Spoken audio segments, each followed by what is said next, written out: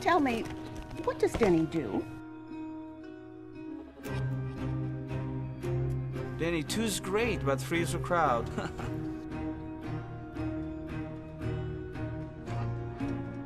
Want five fucking minutes, eh? You know what? I haven't got five fucking minutes!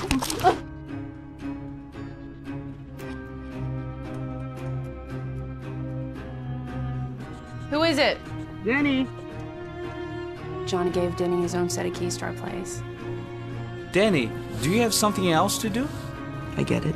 You guys want to be alone. I just like to watch you guys.